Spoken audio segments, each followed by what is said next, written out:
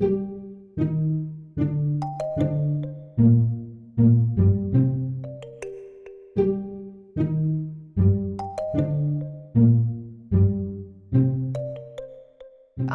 Anne Marie Galmstrup. I'm an architect. A lot of what we do is um, where we collections. We work with the culture of places and how people use the places and understanding the places, putting your hands in the ground. How do things work here? And finding the specifics and the assets of the particular place. The residency um, at the V&A is called Time for Play and it's tied up to the Museum of Childhood. What I heard about it and I found interesting were that the Museum of Childhood is in this transition period at the moment. It's, there's a redevelopment um, uh, happening, uh, so the museum will be closed for a while, but reopen. And um, what could you use this transition period for? So I think one part of residency was about looking at all the assets of this amazing building um, and its story, how it's traveled from from South Ken. It was packed together and then put up again in Bethnal Green.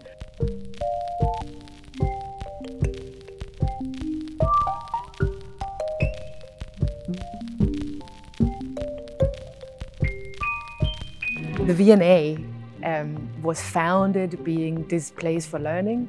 It was um, uh, an archive of good examples Henry Cole, when he, was, uh, when he started the museum, um, he introduced the Gallery of False Principles, where there were, I think it was 87 examples from wallpaper to decorative items. So I looked into the, what was the, the false principle, the bad design.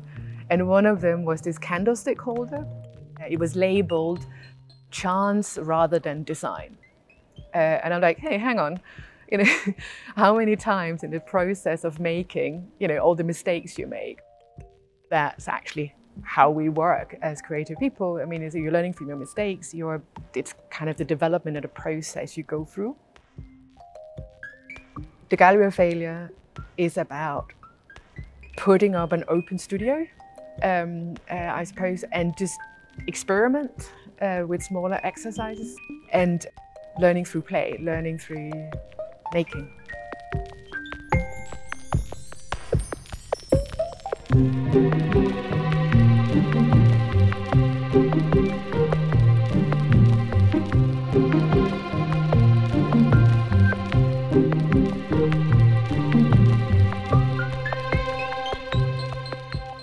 So that was kind of one part. And then the play part or the time for play um, was looking at how the museum could maybe open its door. So one of the things that, that you see a lot of museums is that they're, especially museums of this time period, that they're fairly um, close to their external environment.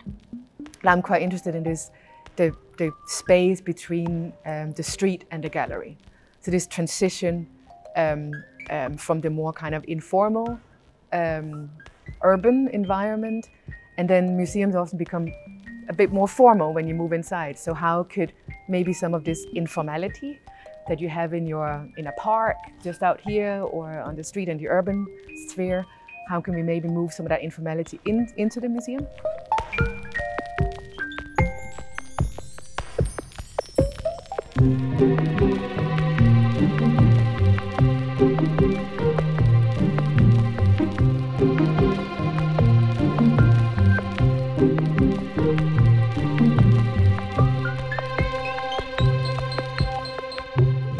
The one thing was manifested, I think, through, through the residency was this strong link between um, project and program.